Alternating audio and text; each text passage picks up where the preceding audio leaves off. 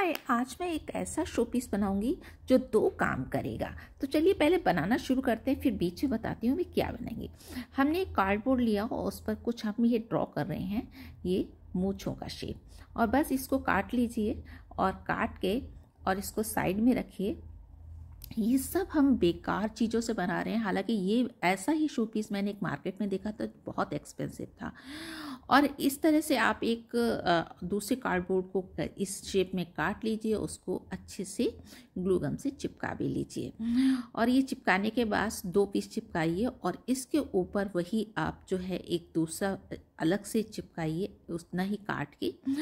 ये सब कार्डबोर्ड से बनाइए और ये देखिए मैंने एक, जो है एक डिब्बा था ऐसे ही और उसमें हमने अंदर स्टोन रख दी जिससे उसका वेट बढ़ जाए।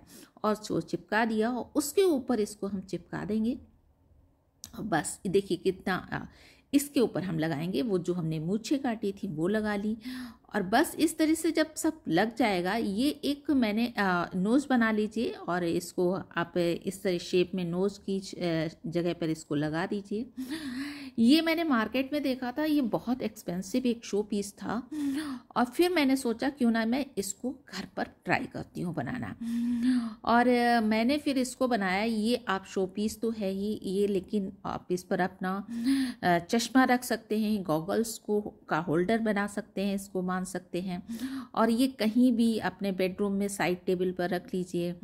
या फिर आप ड्राइंग रूम में रखिए, कहीं भी इसको रख के। ये देखने में भी बहुत खूबसूरत बनेगा। और देखिए, फालतू चीज़ें घर में जो पड़ी हुई थी फेंकने वाली, उन्हीं से मैंने इसको बना लिया।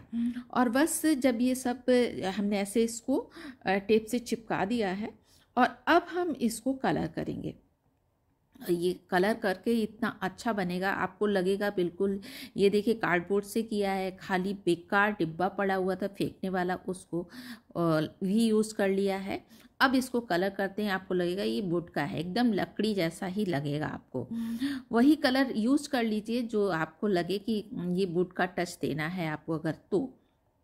और इसको बस इस तरह से आप कलर कर लेंगे तो ये बहुत ही अच्छा कलर भी आ जाता है और देखने में इतना खूबसूरत लगेगा कि आपको लगेगा कि वाह, मैंने तो बहुत सारे पैसे बचा लिए। और वो चीज़ जो मैंने लानी थी, वो भी मैं ले आई।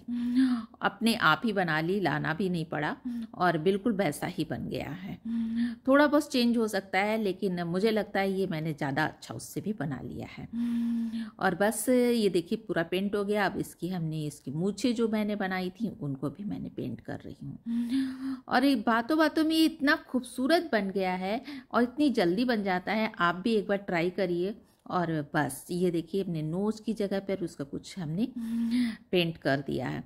और इसके लिप्स को भी मैं कलर कर देती हूँ। आप चाहें तो ऐसे भी छोड़ सकते हैं ऐसे भी अच्छा लग रहा है लेकिन मुझे लगा कि कलर कर देते हैं। क्या हर्च है? और भी अच्छा लगेगा। तो बस ये देखिए हमारा ये बिल्कुल शो पीस या कहें कि गॉगल्स होल्डर या चश्मा रखने का स्टैंड बिल्कुल रेडी है। Thank you very much for watching